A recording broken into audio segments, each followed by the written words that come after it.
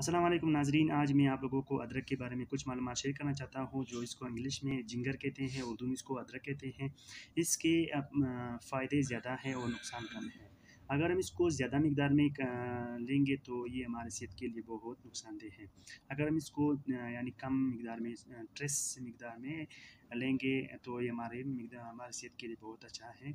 और इसमें अक्सर क्या क्या मिनरल्स हैं और क्या विटामिन हैं, उसको हम लोग डिस्कस करेंगे इसमें कि जो मिनरल्स और विटामिन है और वो क्या है ये मैं आप लोग को बताता हूँ।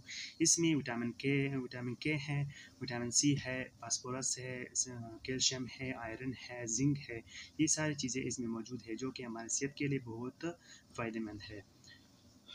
विटामिन सी जो हमारे चेहरे के लिए, हमारे स्किन के लिए बहुत फ़ायदेमंद है। विटामिन के और ये ब्लड क्लाटिंग में अहम किरदार अदा करते हैं और जिंक ये खून को खून फ्लो इम्प्रूव करने के लिए बहुत से फ़ायदेमंद है और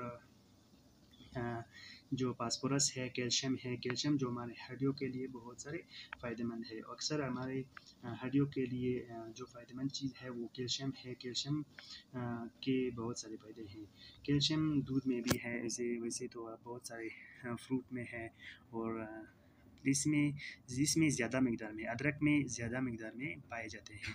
तो इसलिए हमें अदरक को खाना चाहिए, सालन में भी खाना चाहिए और चाय में अदरक नाजरीन, आप लोगों को इसके बारे में पता होना चाहिए कि अदरक कैप्सूल में मेरे के जो कैप्सूल होते हैं, उसमें भी इस्तेमाल होते हैं और ये कैप्सूल हमारे डाइजेस्टिव सिस्टम को इम्प्रूव करने के लिए होते हैं। इसलिए हमें अदरक को खाना चाहिए और मेडिसिन से बचना चाहिए ताकि हमारे सेहत के लिए, सेहत पर इसके कोई साइड इफ़ेक्ट नहीं होता है और अदरक के बहुत सारे साइड इफ़ेक्ट्स होते हैं। इसलिए हमें अदरक को खाना चाहिए, हमें अपने निज़ाम यानी हजमे को ठीक करने के लिए।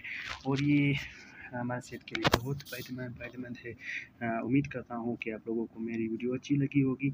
अगर आप लोगों को इसकी वीडियो अच्छी लगी है तो प्लीज़ सब्सक्राइब करें और शेयर करें और लाइक करें। Thank you.